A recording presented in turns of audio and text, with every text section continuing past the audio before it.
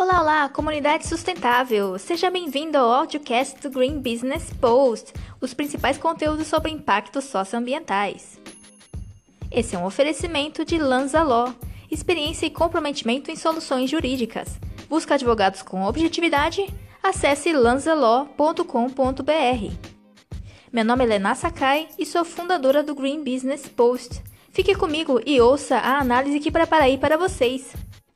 Trata-se da jornada empreendedora de Madam C.J. Walker, a primeira mulher milionária self-made dos Estados Unidos.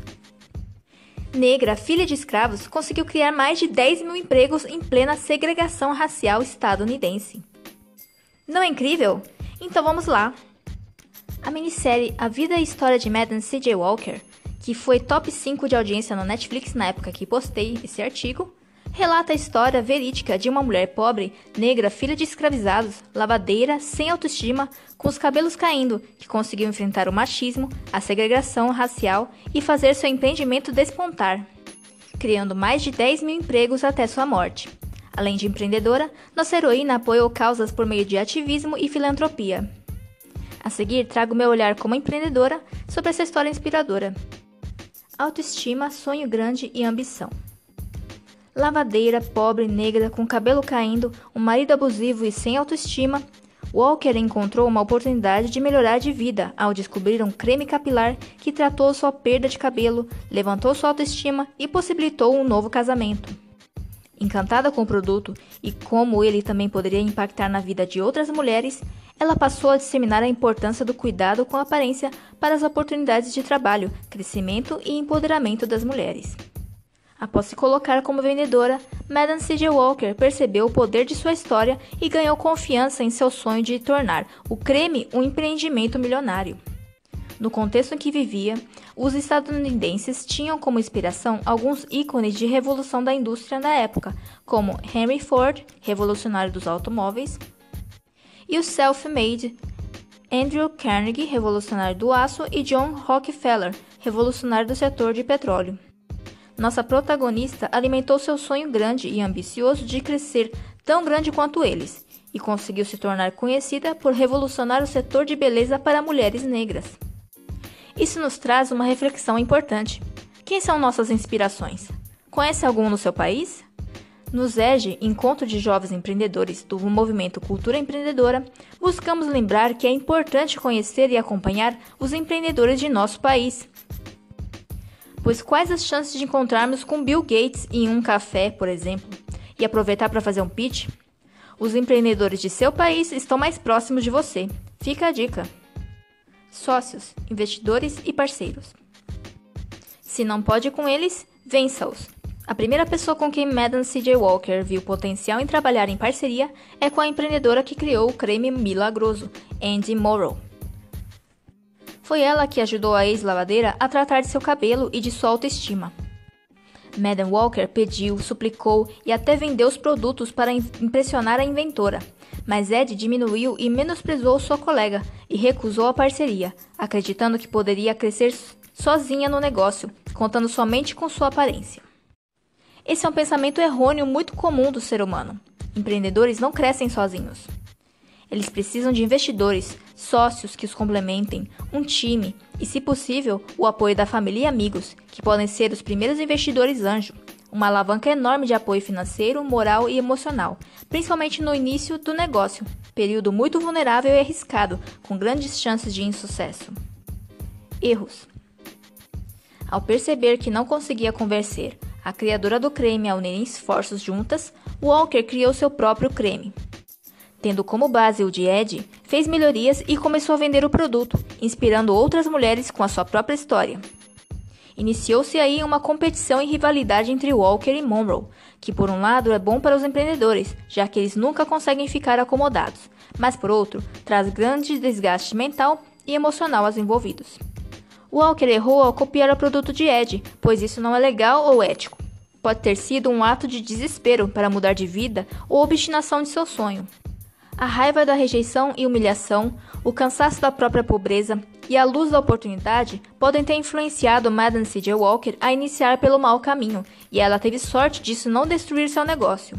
Que isso sirva de aprendizado aos jovens empreendedores. Nunca faça da forma errada. faça o correto e o ético, sem inventar desculpas. Tirando a marca, um dos ativos mais importantes de um empreendedor é sua reputação. Sem ela, o empreendedor fica com extrema dificuldade em fechar parcerias, negócios ou vendas. Mas claro, o empreendedor erra, como qualquer ser humano. O ambiente de negócios é cheio de armadilhas e situações novas, principalmente se há inovação. É praticamente impossível trabalhar nele sem errar, então busque mentores e, quando errar, assuma o erro e corrija-o. Desafios, preconceito e machismo. Ao se mudar para Indianápolis, mercado mais promissor para seu negócio, Madame C.J. Walker enfrentou o desafio inicial de qualquer negócio: conseguir clientes. Lá, ninguém a conhecia ou os seus produtos, e a inauguração de seu salão de beleza foi um fracasso. Em meia pressão familiar para conseguir sustento, ela elaborou promoções, descontos e amostra grátis para atrair seu público, e deu certo. O salão encheu e os pedidos superaram sua capacidade de produção.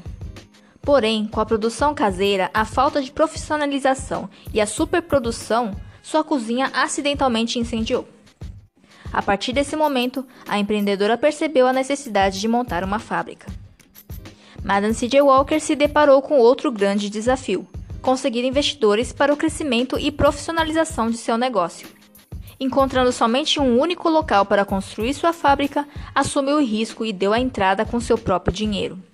Se não conseguisse investidores para completar o resto do valor do projeto, perderia o local e seu próprio investimento.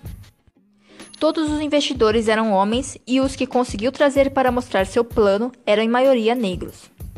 Quando percebiam que o negócio era liderado por uma empreendedora mulher, desistiam de qualquer aprofundamento.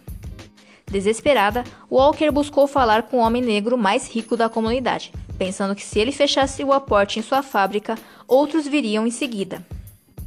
Infelizmente, o encontro pessoal com ele resultou em uma tentativa de abuso sexual e ela somente escapou porque carregava uma arma em sua bolsa. Em sua última tentativa desesperada de fazer um pitch para investidores, ofereceu serviços de salão de beleza às esposas de homens da associação em prol dos negócios da comunidade de negros e quebrou protocolos ao subir no palco para discursar sobre a importância dos negócios das mulheres negras. Comovendo essas esposas, elas mesmas investiram na construção de sua fábrica. Mas, mesmo com a fábrica funcionando, os negócios crescendo e os planos de expansão dos salões de beleza para todo o país, Madame C.J. Walker precisou enfrentar outro grande desafio: as pressões familiares. Seu marido não aceitava a grande dedicação da empreendedora nos negócios. Ele acreditava que ela deveria se dedicar mais aos afazeres como esposa, como, por exemplo, preparar as refeições da casa e não suportava a ideia da esposa trazer o maior sustento da família. Para ele, esse deveria ser o papel somente do homem. Essas ideias machistas, além da traição dele com outra mulher, culminaram no fim do casamento de Madame C.J. Walker. Esses foram alguns desafios que Madame C.J. Walker enfrentou ao longo de sua jornada empreendedora. E detalhe, mesmo durante períodos de sucesso e crescimento. A lição que podemos tirar de tudo isso é não desistir frente a obstáculos, enfrentar as dificuldades e buscar soluções com criatividade e inteligência. Se em algum momento nossa protagonista tivesse se detido, sua história teria sido muito diferente. Gostou do artigo? Compartilhe nas redes sociais. Siga nosso audiocast e não perca os principais conteúdos para negócios sustentáveis. Green Business Post Positive Impacts for Sustainable Community.